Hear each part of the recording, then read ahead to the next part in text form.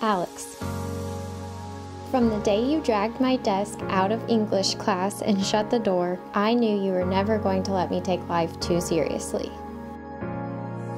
I need to feel the same, the same. I know that we can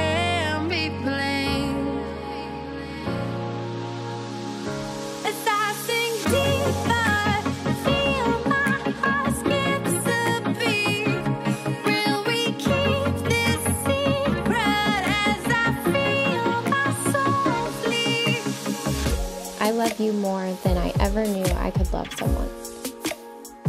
Let's keep having fun, let's continue to grow, and let's take on the world as husband and wife.